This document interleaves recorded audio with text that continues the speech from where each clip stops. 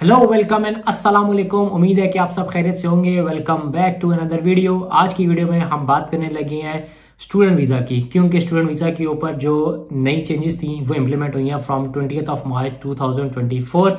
इनको जो नाम दिया गया, वो दिया गया न्यू जेनविन स्टूडेंट रिक्वायरमेंट इसके बारे में मैं ऑलरेडी बात कर चुका था क्योंकि एलेवंथ ऑफ़ दिसंबर 2023 को जब माइग्रेशन स्ट्रेटजी रिलीज़ की थी डिपार्टमेंट ऑफ़ होम फ़ेज़ ने कि हम क्या क्या चेंजेस करने लगे हैं। उसमें उन्होंने ये बात भी की थी कि हम स्टूडेंट वीज़ा को किस तरह चेंज करने लगे हैं। जो जी था, उसको रिप्लेस कर रहे हैं जीएसटी के साथ। G T genuine temporary entrant test था। अब इसको जीएसटी रिप्लेस कर दिया which is genuine student test अब ये क्या कहता है, इससे क्या फ़र्क पड़ेगा, इसमें क्या क्या चेंजेस थी, क्या प्रपोज हुआ, उस सारे के बारे में हम बात कर लेते हैं। सबसे पहले उन्होंने कहा कि student visa applicant no longer need to satisfy the GT requirement that they genuinely intend to only stay in Australia temporarily The genuine student requirement acknowledges that post-study pathways to permanent residence are available to those eligible graduates. हम लोग जब पहले आते थे ना, हम लोग जी पास करके आते थे और हम कहते थे कि हम अपनी स्टडीज़ कंप्लीट करने के बाद अपने होम कंट्रीज़ वापस चले जाएँगे अब इन्होंने कहा कि वो जो जीटी में आप लिखते थे या जीटी में जो आप लोग ये कहते थे कि हम वापस चले जाएँगे, वो यहाँ पे पीआर पाथवेज में या स्पॉन्सरशिप में लग जाते थे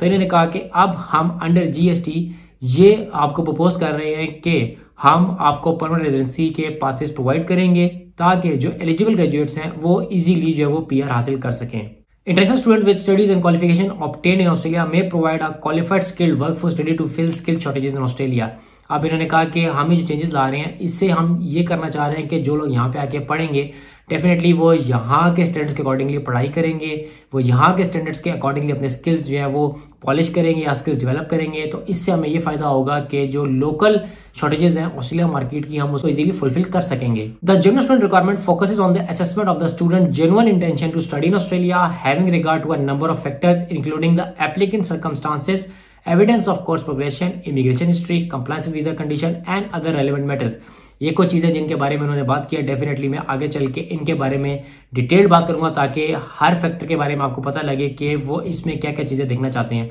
जो जेनेरिक उन्होंने बताया, उसमें सबसे पहली चीज़ है कि आपके पर्सनल सर्कमस्टांसेस कैसे हैं आपके होम कंट्री में। सेकेंड आप जो कोर्स करना चाह रहे हैं, वो किस तरह ऑस्ट्रेलिया में प्रोग्रेस करेगा और आपकी किस हद तक कमिटमेंट है उसको पूरा करने के लिए, आपकी इमिग्रेशन हिस्ट्री कि आप जो है ऑस्ट्रेलिया जो आ रहे हैं, इससे पहले अगर आपने किसी और मुल्क में ट्रैवल किया है या अगर आप विज़िट वीज़ा पे किसी कंट्रीज़ में गए हैं तो क्या आपको कोई ओवर स्टे तो नहीं है? अगर आपके कोई वीज़ा रिफ्यूजल हैं तो वो कितने हैं, क्यों है, क्या रीजन हैं, वो सारी चीज़ें चेक करेंगे। And then definitely compliance with visa condition and and other relevant matters अभी बात कर लेते हैं जनरल स्टूडेंट रिक्वायरमेंट की। The government has replace the G T requirement for student visa with G S requirement this is effective for student visa application launch on and after twenty March इन्होंने ये बता दिया था दिसंबर में कि हम ये इंप्लीमेंट करने लगे हैं, लेकिन वो सारे लोग जिन्होंने 11 दिसंबर 2023 से लेकर ट्वेंटी ऑफ़ मार्च 2024 तक अप्लाई किया है, उनके ऊपर स्टिल जीटी वाली रिक्वायरमेंट लगेगी जीएस वाली नहीं लगेगी। लेकिन अब ट्वेंटी ऑफ़ मार्च 2024 के बाद जितने भी स्टूडेंट्स ने अप्लाई किया या वो सारे लोग जो आइंदा आने वाले कुछ दिनों में या कुछ सालों में अप्लाई करेंगे, उनके ऊपर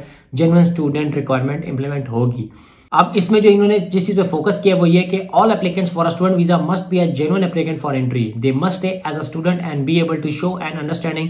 that studying in Australia is the primary reason for they student visa The GS requirement is intended to include students who, after studying in Australia, develop skills Australia needs and who then go on to apply for permanent residence. ये उन्होंने वही बात किया कि अगर आप यहाँ पे एज स्टूडेंट आ रहे हैं तो आपका जो प्राइमरी फोकस है वो स्टडी ही होना चाहिए वंस यू ग्रेजुएटेड उसके बाद अगर आपने वो स्किल्स बना लिए जो ऑस्ट्रेलिया को चाहिए तो डेफिनेटली आपको परमानेंट रेजिडेंसी के पाथवेज जो है डिपार्टमेंट प्रोवाइड करेगा To be granted a student visa, all applicant must demonstrate they satisfy the genuine student criteria or the genuine student dependent criteria. अब इस क्राइटेरिया में चार पाँच फैक्टर्स बताए थे उसके बारे में बात करने लगे हैं। सबसे पहले in the online student visa application form we will ask the applicant the below question to address the genuine student criteria give details of the applicants current circumstances this includes ties to family community employment and economic circumstances ये आपके बारे में सारी information आ गई है कि आपके जो टाइज हैं, वो अपने होम कंट्री कैसे हैं, आपकी फैमिली के साथ कैसे हैं? अगर तो आप जॉब कर रहे थे तो आप क्यों मास्टर्स करना चाहते हैं? आप क्यों जॉब छोड़ के जो है फर्दर डिग्री करना चाहते हैं? और आपकी इकोनॉमिक कंडीशन कैसी है? क्या आप अपनी स्टडीज़ को यहाँ पे आके अफोर्ड कर सकेंगे, या फिर आप यहाँ पे आके ऑस्ट्रेलिया के जो रिसर्च उनको डिस्टर्ब करेंगे? Number two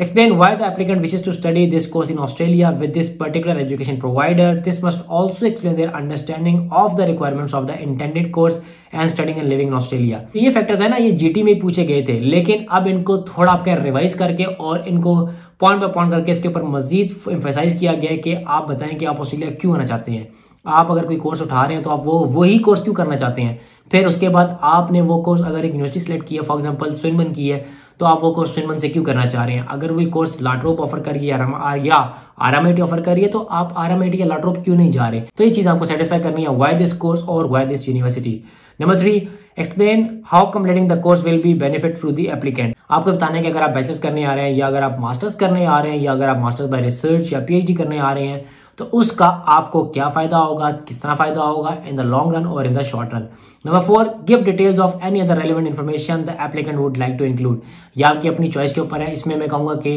वो सारे लोग जो स्टूडेंट वीज़ा अप्लाई कर रहे हैं या करना चाह रहे हैं या करने लगे हैं आपने अगर कोई वॉलेंटियर वर्क किया तो मेक श्योर sure करना है कि आप वो अपनी एप्लीकेशन में लाजमी मैंशन करें, उसके सर्टिफिकेट्स प्रोवाइड करें, उसके लेटर्स प्रोवाइड करें।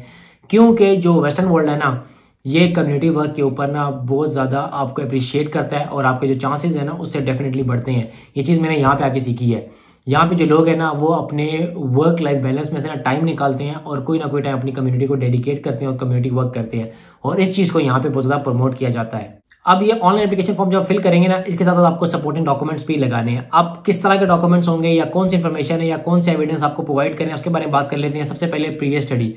आपने पुरानी जो आपने पढ़ाई की हुई होगी, उसके आपने एकेडमिक ट्रांसक्रिप्ट लगानी है। आपने जहाँ से की होगी एजुकेशन प्रोवाइडर का नाम होगा length of study for example अगर बैचलर्स है तो चार साल का बैचलर्स है, आपने वो बताना होगा। एंड देन जो आपके कंप्लीट सर्टिफिकेट्स होते हैं, वो आपने अटैच करने होंगे। और अगर आप ऑस्ट्रेलिया में ऑलरेडी पढ़ाई कर चुके हैं और आप फॉर एग्ज़ाम्पल बैचलर्स के बाद मास्टर्स करना चाहते हैं तो यहाँ के जो डॉक्यूमेंट्स होंगे, वो ये होगा कि आपने कंप्लीट हिस्ट्री रिकॉर्ड बताना है ऑस्ट्रेलिया में पढ़ाई का कि आपने कहाँ से कितने टाइम की डिग्री की है। फिर अगर आप कोर्स चेंज करने लगे हैं तो क्या रीज़न है, क्यों कोर्स अपना चेंज करने लगे हैं? या फिर अगर आप यूनिवर्सिटी चेंज करने लगे हैं तो क्या रीज़न है यूनिवर्सिटी क्यों चेंज करने लगे हैं? और अगर आपका स्टडी गैप दो साल से ज़्यादा का तो आपको वो भी जस्टिफाई कराना है कि why your gap is more than two years और उसके बाद any other information that applicant considers relevant to the study records in Australia उसके साथ साथ आपने करंट एम्प्लॉयमेंट बतानी है। अगर आप जॉब कर रहे हैं तो आपका एम्प्लॉयर उसका नाम, उसकी डिटेल डेफिनेटली उसका एड्रेस आ जाएगा। फिर आप कब से जॉब कर रहे हैं, आपकी पोजीशन क्या है? And then definitely name and contact of the person के जिसको डिपार्टमेंट अगर कॉन्टैक्ट करना चाहे तो करे आपकी वेरिफिकेशन के लिए कि आप उनके पास काम करें या नहीं करें और डेफिनेटली जो लेटर आप देंगे, उसमें आपकी सैलरी लाजमी मेंशन होनी चाहिए कि आप कितनी सैलरी के ऊपर जॉब कर रहे हैं। And then circumstances in their home country और कंट्री ऑफ़ रेजिडेंस आपको जस्टिफाई करना है कि जो आपके टाइज आपके होम कंट्री के साथ वो कैसे हैं, इसमें इंक्लूड करते हैं आपके फैमिली के टाइज आपकी कम्युनिटी के साथ टाइज और फिर जहाँ आप काम करते हैं डेफिनेटली आपके जो एम्प्लॉय के साथ आपके टाइज कैसे हैं, ये चीज़ें इसमें सारी कंसिडर होती हैं। फिर economic circumstances in home country और द कंट्री ऑफ़ रेजिडेंस ये वो चेंजेस जो उन्होंने की है, इसमें कह रहे हैं कि डॉक्यूमेंट शोइंग एम्प्लॉयमेंट और business activities for twelve months before lodging an application एक साल की जो है, इन्होंने कहा कि हमें अपनी बिज़नेस एक्टिविटीज़ की स्टेटमेंट आपने दिखानी है। अगर आप ये कहते हैं कि मेरे फादर या मेरा एक्स वाई बंदा मुझे स्पॉन्सर कर रहा है और वो बिज़नेस करता है तो उसकी एक साल की स्टेटमेंट इन्होंने मांग ली है। Potential employment offers including salary and other benefits after course completion आप अगर कहते हैं कि मैं ये डिग्री करूँगा या मैं कोर्स करूँगा, इसके बाद जो है मेरी अच्छी जॉब लगेगा चांस है तो उन्होंने कहा कि आप मार्केट सर्वे करके वो मेंशन करें कि फॉर एग्जांपल इसके बाद आपको कितना सैलरी ऑफ़र हो सकती है और आपको इसका तरह बेनिफिट हो सकता है। एंड देन आपके जो इनकम टैक्स रिटर्न और बैंक स्टेटमेंट्स हैं, जहाँ आप ऑलरेडी जॉब करें, वो सारे आपने अटैच करने हैं। एंड देन इन्होंने क्राइटेरिया भी बता दिया कि हम किस तरह जर्नल स्टूडेंट को एसेस करेंगे। उसके बारे में इन्होंने कहा कि the general student criteria focus on the assessment of a student's intention to genuinely study in Australia It considers factors including the applicant's circumstances, immigration history, and compliance with the visa condition and other relevant matters. सबसे पहले बात कर लेते हैं situation इन home country के। आप अपने home country में क्यों ये कोर्स नहीं करना चाहते? और अगर ये कोर्स आपके होम कंट्री में अवेलेबल है then why you are preferring to do this course in Australia and then आपके जो टाइज हैं होम कंट्री के साथ एंड देन अगर आपने डेफिनेटली मिलिट्री में सर्विस की है तो उसकी बात करेंगे एंड देन आपके इकोनॉमिक कंडीशन आपके होम कंट्रीज़ में। ये वो चीज़ें हैं जिसके ऊपर मैं बार बार फोकस करता आया हूँ थ्रू आउट के इन फैक्टर्स के व्याप पे हमेशा वीज़ा एप्लीकेशन का डिसीज़न होता है। एंड स्पेसिफिकली अगर मैं स्टूडेंट वीज़ा की बात करूँ तो इसके ऊपर बहुत ज़्यादा फोकस होता है कि आपने ये चार चीज़ें लाजमी जस्टिफाई करानी होती हैं सेटिस्फाई करानी होती हैं। अगर तो केस ऑफिसर इन चार चीज़ों के ऊपर आपका सेटिस्फाई हो जाता है तो आपको वीज़ा ग्रांट कर देता है। सो so, ये वो कुछ चीज़ें थी जो जेनुअन स्टूडेंट के अंडर डिपार्टमेंट ने इंट्रोड्यूस कराई थी और अब ट्वेंटी थर्ड ऑफ़ मार्च के बाद से जितने भी लोग स्टूडेंट वीज़ा लॉन्च करेंगे उन सबको इस क्राइटेरिया के अगेंस्ट असेस किया जाएगा। अगर आप लोग ये क्राइटेरिया सेटिस्फाई करेंगे तो आपको वीज़ा ग्रांट होगा। सो आई होप वो सारे लोग स्टूडेंट वीज़ा अप्लाई करने लगे थे। उनको एक ब्रीफ सेट मिल चुका होगा कि कौन सी चीज़ें जिसके ऊपर उन लोगों को अपना फोकस ज़्यादा रखना है because they're about to launch application पहले एफ़ एल चल जाता था, लेकिन अब इन्होंने एफ़ एल की सारी जो है, आपका गुंजाइश खत्म कर दी इसलिए you have to be very careful you have to be very keen so so, ये थी मेरी वीडियो जेनवन स्टूडेंट रिक्वायरमेंट्स के ऊपर जो इम्पोज हुई है from twenty third of March two thousand twenty four मिलते हैं अगली वीडियो में. टिल देन टेक केयर अल्लाह हाफिज़.